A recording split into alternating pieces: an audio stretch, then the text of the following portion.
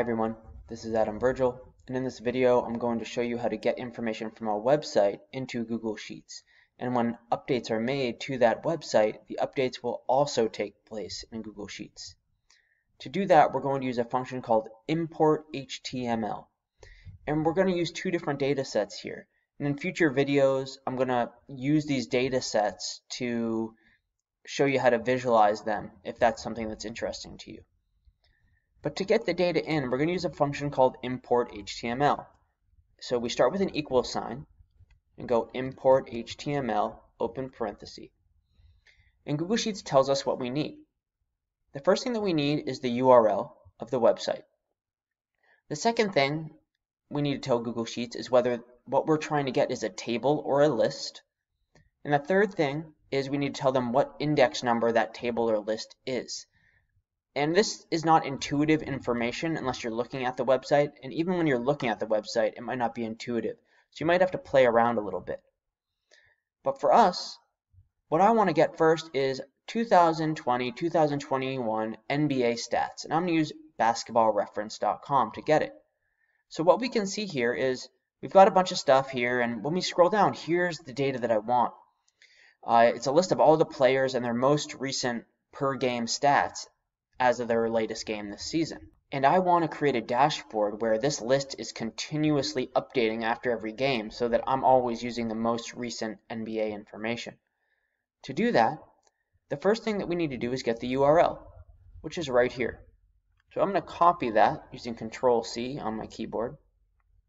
Go back into Google Sheets.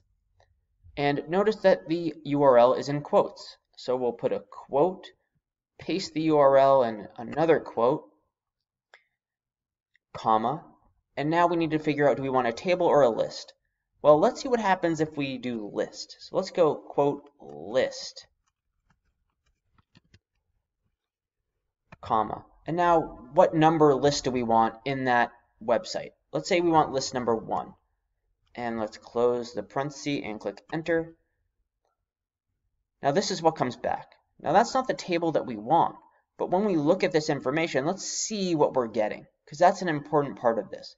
We have sports reference. At the end it says create, create account and login. Let's go back to this website. Scroll up to the top. Look, we see sports reference here, and we see login over here. This is the list that we're getting. And let's see what happens when we change that list number to 2. So let's go back into Google Sheets, change the index number to 2, and click Enter. And now we're getting players, teams, seasons, leaders. If we go back to this website, oh, well here, this looks like we're going to players, teams, seasons, leaders. Here's another list. Great, so hopefully that gives you some context for how this works. And now let's do table, because what we want is that table of information, which has rows and columns. So let's go table and let's change this to number one and click enter. And now this looks like the data that we want. Great, this is fantastic. So we have all of our data, um, but what we might want to do here is we might not want all of this data. For example, let's look at this table. What do we have here? We have, oh, okay, well the first thing that I notice is that we have this guy, Jarrett Allen. He's on two different teams, different averages, and then he has a tote, which I'm assuming means total because he's been on two different teams. This may cause complications in the future. So maybe I don't want anything that says tote here to, to come into my data set. And then what we also see is we have, oh, another header. And we scroll down another header. Maybe I don't want these headers to come in either. So let's figure out how to get rid of those things. Because if we go to our Google Sheets, and we scroll down, yep, there's another header, and there's another header, and they may not affect calculations, but I think that this is important to go through because it's a valuable function to know how to do. And if you're familiar with SQL or SQL, um, however you want to pronounce it, then you will have a good idea of what's going on here. Essentially, Google Sheets has a function that you can use that's called query that lets you use SQL to to do your calculations instead of using uh, the, the innate Google Sheets functions. And we're going to use that here. So we're going to start by going query, open parenthesis. The first thing that query needs is the data that we're getting. And that's okay. All the data that we're getting is all defined in this formula. We want the first table in this website. That's our data. Now we need to do our SQL. So to get information at all, what we do is we do something called select. So let's do a comma and start our query. We start with select, and this is telling SQL or telling Google Sheets what we want to bring back from this data set that we've defined here. And the way that we start this off is with a quote. Let's put a quotation sign. And now we use the word select. So within this data set, we want to select. And the next thing that we're going to do is we're going to put an asterisk or a star. And then we're going to end the quote or end the query and close the parenthesis. A star means everything. So we're saying we want to get some data from this URL, table 1 of that URL, and we want to get back everything. So if we click enter, we'll see no change. It should be pretty much exactly the same.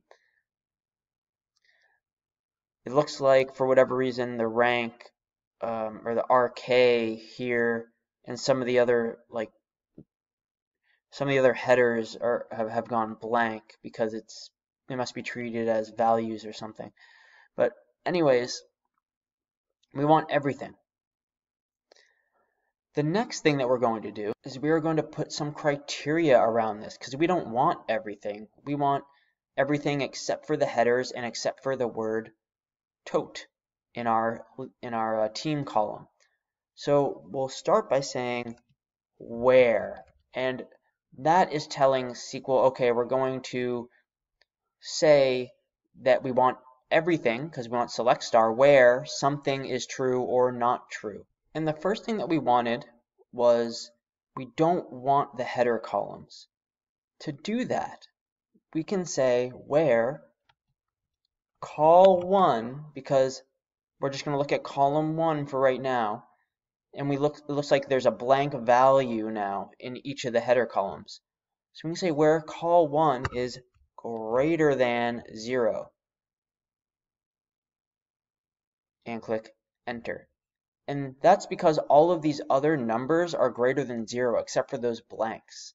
And now, if we scroll through, it looks like we got rid of our, of our headers, which is great. So our first step is done.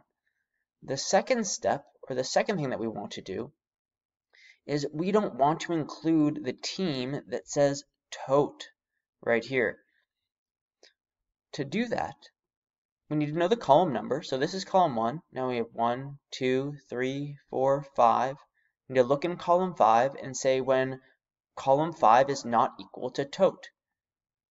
Instead of writing another where clause, we can just use and. So select everything where column 1 is greater than 0 and, and we'll say call 5, which is our team column, is not equal to, and we will do a quote, T-O-T, qu quote. And those are just single quotes, not double quotes. So now we want to get everything from this data set where column 1 is greater than 0 to remove the headers, and when column 5 is not equal to tote to get rid of these totes right here. And if we click enter, now that tote column is gone, and I'm assuming it's gone for all the all the players. And that's great. And this is just an example for how you can combine query and import HTML to get data from the internet with some criteria around it. And now we'll move on to our other data set. Let's go over to this web data stock tab we're just going to do the same thing that we did with import HTML, and we're not going to use the query. So, how do we do this? We go equals import HTML, open parenthesis, and then we need to get the URL that we're interested in. So let's go to this Wikipedia page here. Uh, it's S&P 500 companies, and this looks like a table, right? So it's a table with all the symbols and some information.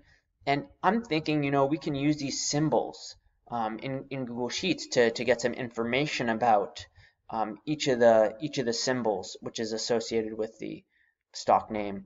So let's go copy this URL. Go back in here. And remember, we put it in quotes. So we'll quote, paste the URL, and the quote, comma. Now, do we want a list or a table? Let's quote, get a table, end quote, comma. And now, which table do we want? Let's try number one and see what happens. Let's close a parenthesis and click enter. And that looks good to me. This looks like what I, what I was looking for here. So now we have all this stock information. And in the next video or in another video, I'm going to, one, in this web data NBA, I'm going to show you how to get images for these NBA players using the internet. And then after that, or in a different video, we'll go through this web data stock area and figure out how to get information about these stocks in Google Sheets. So I hope that this video was helpful. If you enjoy the content, please give it a give it a like, thumbs up, subscribe to the channel. I really appreciate that. It lets YouTube know that this stuff is helping someone out there. So thank you, and I'll see you in another video.